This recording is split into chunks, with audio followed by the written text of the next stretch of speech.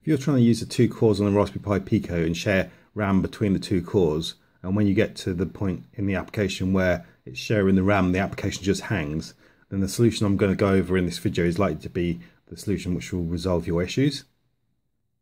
So a couple of videos ago, I went over an application that I've written on the Raspberry Pi Pico, which is a Jupiter Ace emulator. And it is the first application I've written which actually uses both cores of the Raspberry Pi Pico.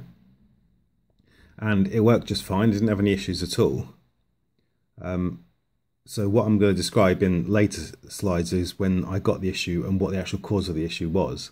So I've got my Jupiter Ace emulator running on core 0 and I've got in the RAM memory allocated to that Jupiter Ace emulator which is 64k so that's like the 64k which it would be using if it was a physical machine.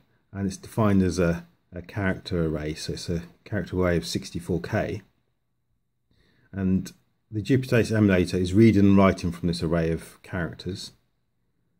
And that's on core 0 and on core 1 I've got a display driver. So in order to try and relieve some of the actual overhead on core 0 I want, want to take it onto core whatever I can onto core 1 and the best way of splitting my program was to put a display driver on core 1 and the keyboard driver on core 1 and the display driver it reads from this character array which is the emulator's character array uh, because on the Jupiter Ace there's a memory map of graphics within that. And it takes those graphics it just reads it doesn't write to that it just reads from that memory. And it then plots it onto the actual VGA memory video map, which is in the RAM as well, but that's separate allocated memory. I'm not having any contention there. Uh, and then that RAM is just taken and read from using DMA, sent to the PIO, which then sent out to the VGA display. So there's no issue here with the VGA video memory because it's only being written to from core 1 and that nothing on core 0 is accessing it. And in this particular instance, like I say, there's no issues with the actual emulator memory. It worked fine. And the core zero is reading and writing from that memory. And core one is just reading from that memory. So there shouldn't be any uh, contention anyway. So this is where I come on to my uh, problem when I go on to my Z80, ZX80 emulator. So it's basically the same code, uh, but sl slightly different because the ZX80 actually updates this display differently. And this is where I'm getting hanging. So as soon as I went on to, to try and emulate the Z, Z80, ZX80 on Core Zero, and again, I've got the emulator memory here, but the, the memory is slightly different because the ZX80 isn't really a graphics display, it's a character map display. So in order to put the display driver on Core 1, I needed to Core 0 to take whatever the was it was trying to plot onto the display and put it into a character map array, but it's still a character array. So just like the emulator is just a character array of 64K, the character map, which I'm, I'm going to actually transfer the display information across to core 1, is just a character array in the same way. And the ZX80 emulator is just right into that, and the core 1 display driver is just reading from that. So there shouldn't be any contention.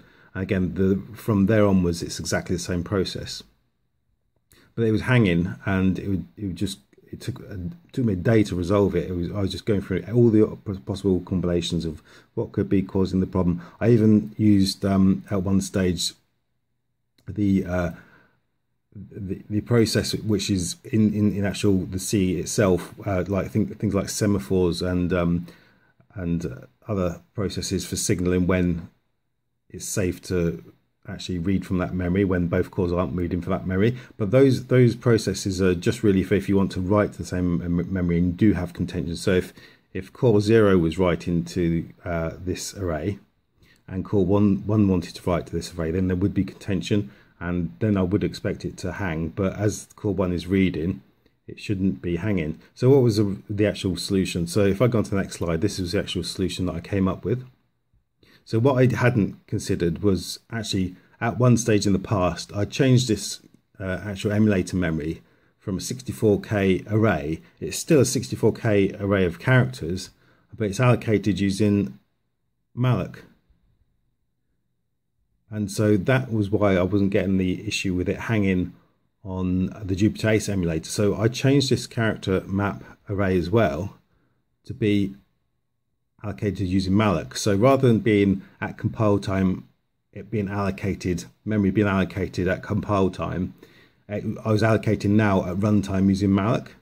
And as soon as I did that, this this all just worked. There was no contention, there was no hanging, and it ran fine. The, the emulator wrote into the, the character map memory, uh, and the display driver read from the character map mem memory and just sent it onto the VGA display.